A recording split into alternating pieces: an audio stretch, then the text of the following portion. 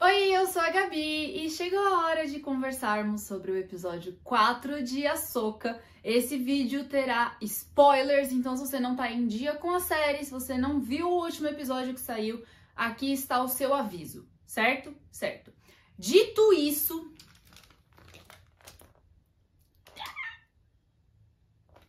ele tá de volta para me acompanhar nos vídeos. Sim, quem assistiu Kenobi sabe que meu neném estava comigo em todos os vídeos, por motivos óbvios, e agora ele está de volta. Não exatamente ele, mas uma versão dele. Uma versão que talvez eu goste mais. Não, eu gosto dos dois igual. É a mesma pessoa. Eu, hein? Bom, a gente já fala mais sobre isso, eu só queria trazer ele de volta para os vídeos.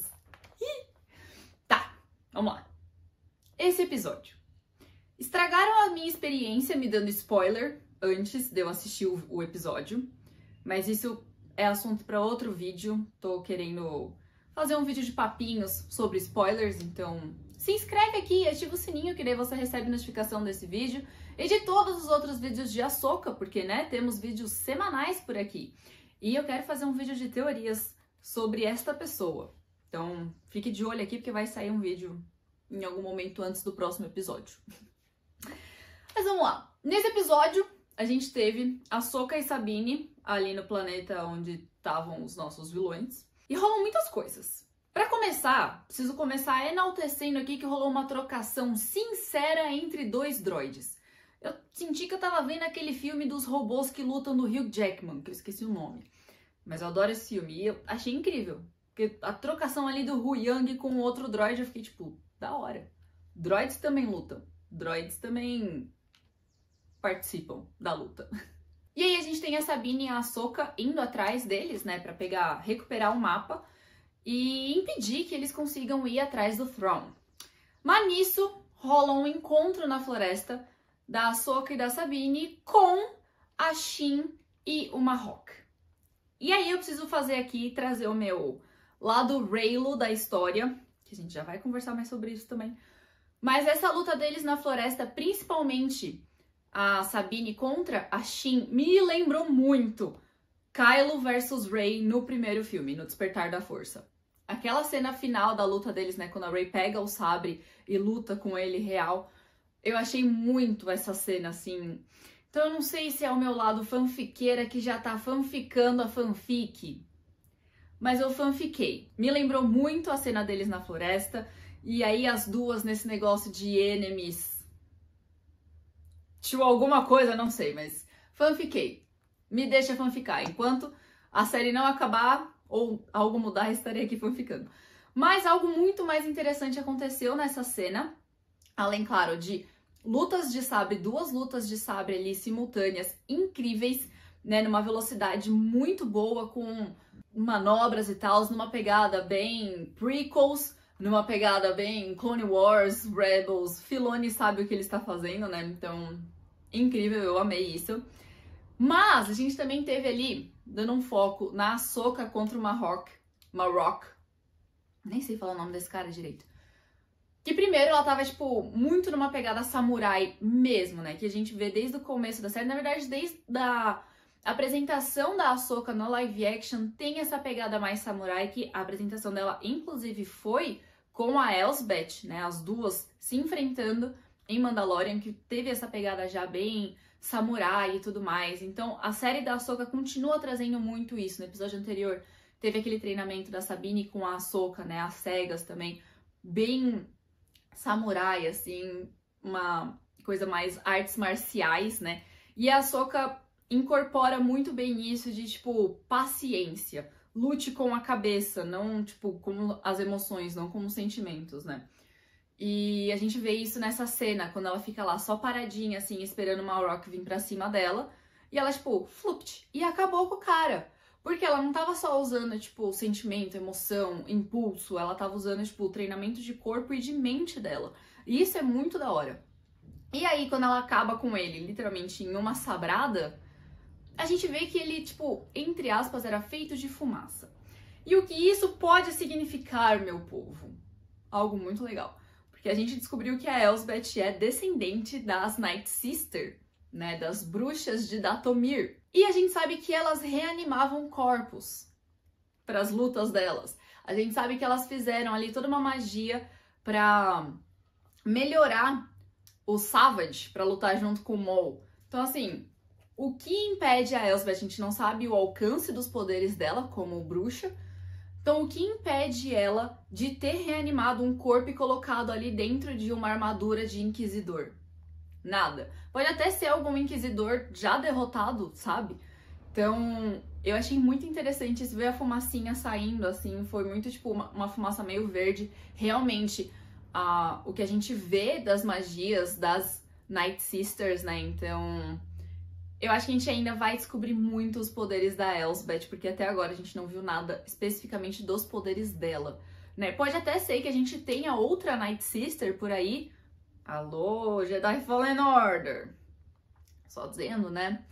Então eu acho que a gente pode ter mais desse lore das Night Sisters de Datomir chegando aí para acrescentar no live action, né? Porque até agora a gente teve em live action de Datomir só o Mou.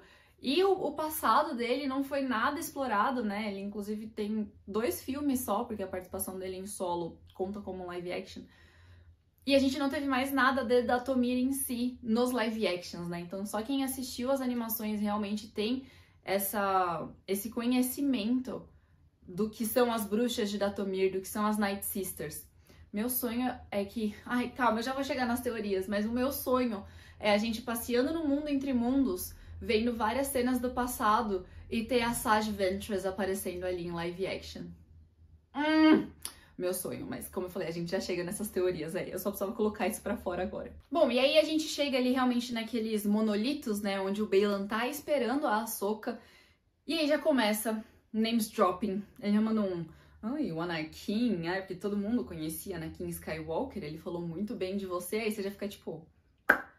Você, Baylan Skoll, conhecia Anakin Skywalker se na época das Guerras Clônicas você era só uma criancinha também? Ok, todo mundo, como ele mesmo diz, conhecia Anakin Skywalker, porque ele era o maioral, o top do top, tá bom? Tudinho, o maior de todos. Hum, mas fica naquilo, né? Tipo, ele conversou com o Anakin em que momento? Para saber da Ahsoka, para saber que ele falava muito bem da Ahsoka. Com certeza foi em algum momento ali no templo. E pode ter sido em algum momento depois que a Ahsoka foi embora da Ordem. Então teve... É uma janela de tempo muito curta, né? Mas ela existe. Então, talvez... Será? Não.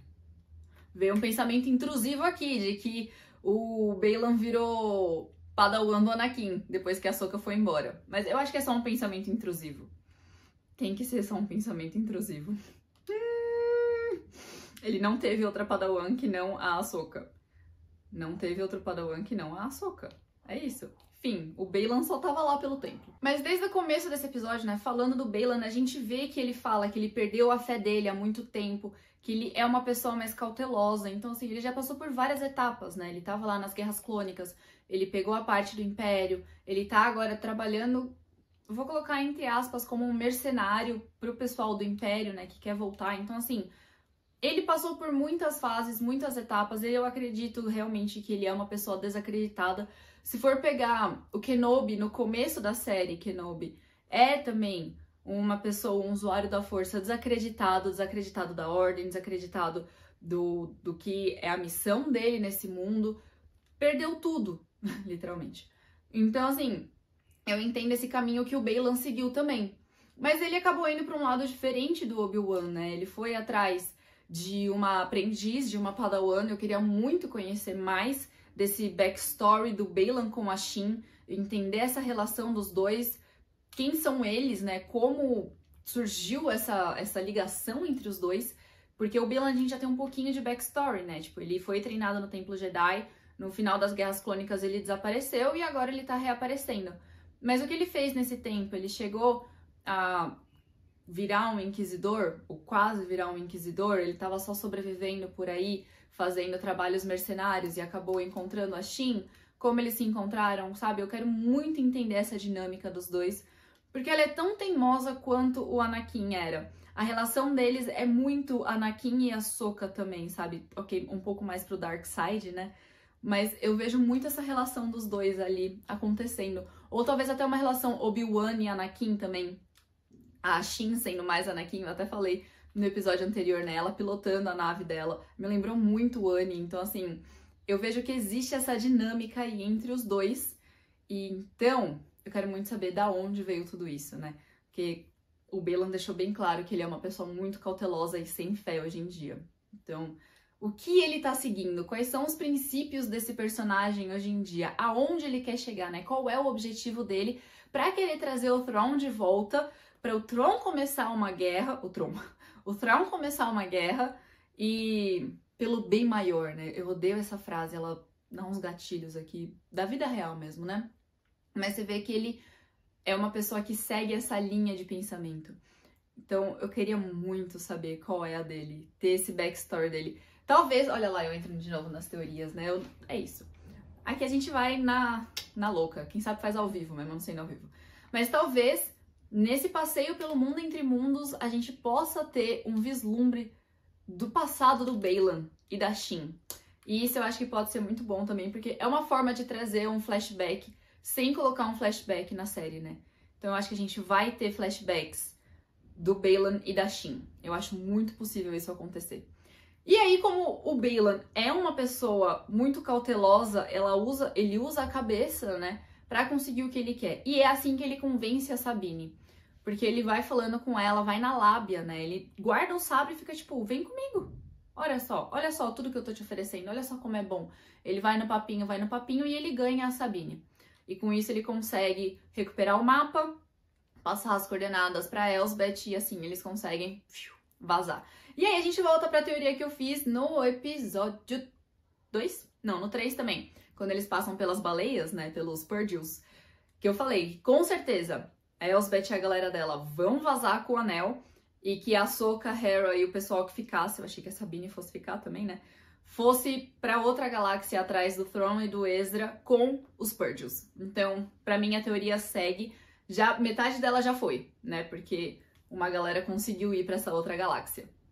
E a gente tem um pessoal que ficou aqui e que vai ter que dar um jeito de ir para outra galáxia para impedir que o Thrawn volte, né? O Ezra pode até voltar, dar um jeito, mas o Thrawn vai ter que ficar lá.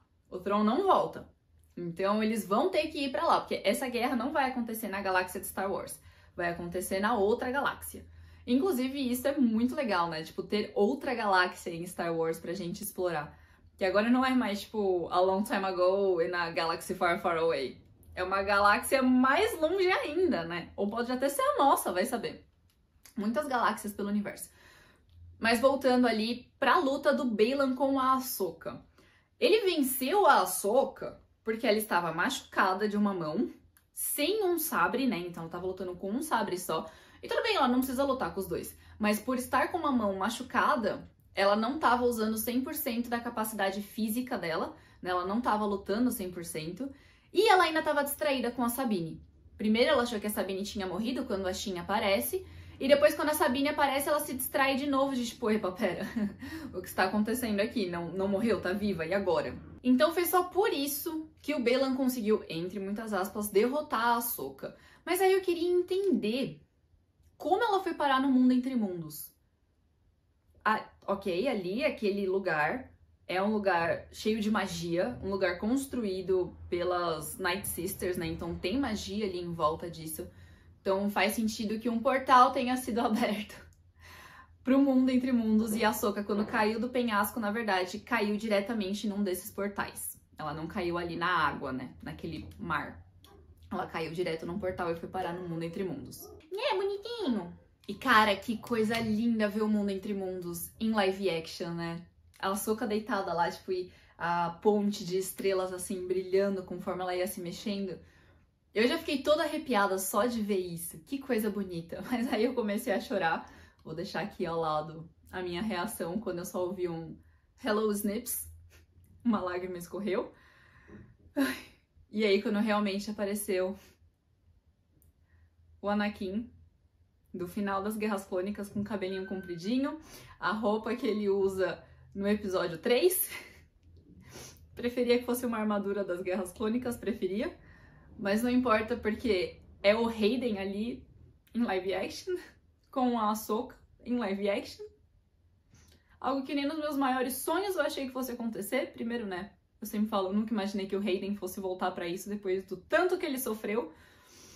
E é, e é, por isso que eu fico emocionada, não só por causa dos personagens, mas por causa do Hayden também. Sério. Toda vez que eu vejo ele em Star Wars, pós-prequels, eu fico assim, porque o tanto que esse cara sofreu na mão de fã de Star Wars e ele decidiu voltar depois de tudo isso, sabe? E decidiu voltar não só uma, mas duas vezes, porque é a segunda série que ele tá trabalhando. Eu tô esperando isso desde que a série da Ahsoka foi anunciada e desde que ele foi anunciado voltando em Kenobi, né, quando foi confirmado que ele ia voltar, eu fiquei, ok, não tem como ter uma série da Ahsoka e não ter o Anakin aparecendo. Então, assim, sabe? Mas aí, vamos entrar aqui em teorias, né? Porque. Ai, agora eu vou pirar. Vocês me perdoem, mas eu vou pirar. Vai ter um passeio pelo mundo entre mundos. A Soka e o Anakin vão andar por ali e a gente vai ver muitos momentos de Star Wars como um todo, passado e futuro, tá? Provavelmente algum pouco do presente também. Talvez seja a confirmação de que o Ezra tá vivo ali. Não sei. Mas eu tenho certeza que a gente vai ver flashbacks, né? Então a gente vai ver o passado ali das guerras clônicas. Talvez alguma parte do do Império. Meus deuses, eu acabei de pensar aqui. Já, já pensou se a gente tem um flashback de Ahsoka, Anakin e Padmé? e a gente vê o retorno de Natalie Portman.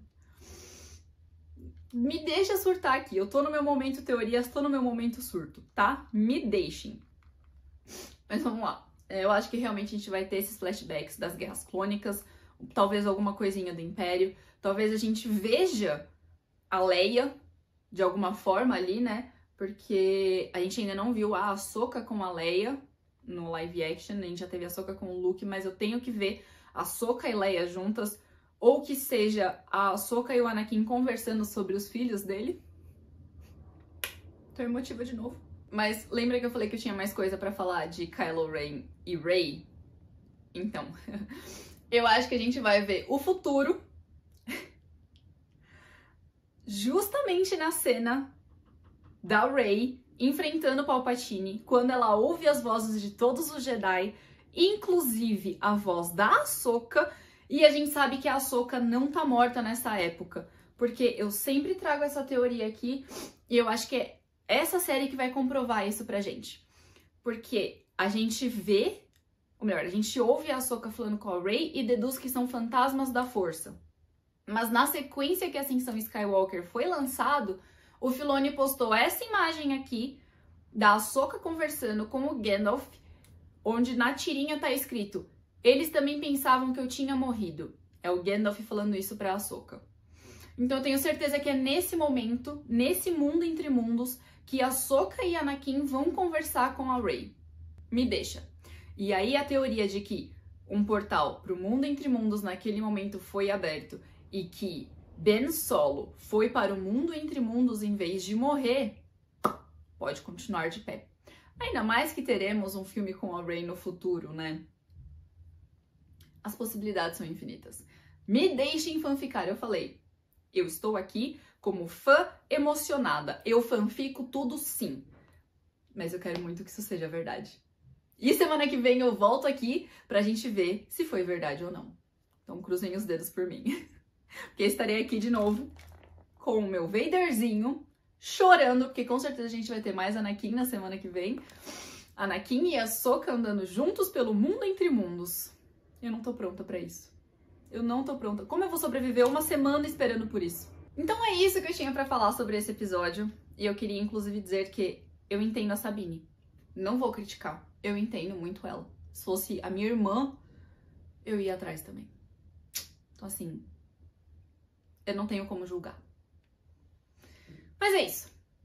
É isso que eu tenho para falar desse episódio. Como eu falei, talvez a gente tenha mais vídeos para falar sobre antes do próximo episódio, Mas semana que vem eu estarei aqui de novo surtando, então se inscreve e ativa o sininho para você não perder os surtos de açúcar comigo. Me segue nas redes sociais. Por favor, não me dê spoilers antes de eu assistir o episódio, porque a sorte foi que estragaram a surpresa para mim, mas não estragaram a emoção de ver o Anakin voltando com a Ahsoka. Hum. Então assim, não me mandem spoilers antes de eu falar que eu já assisti o episódio. Por favor. Sério, porque eu quase não assisti o episódio de hoje. Porque eu fiquei tão brava que me, me desanimou. Real. Mas é isso. Semana que vem a gente se vê aqui de novo, então me conta o que você espera pro próximo episódio. Deixa seu like e compartilha esse vídeo com todo mundo. Um beijo, até a próxima, que a força esteja sempre com vocês e a gente se vê no Mundo Entre Mundos.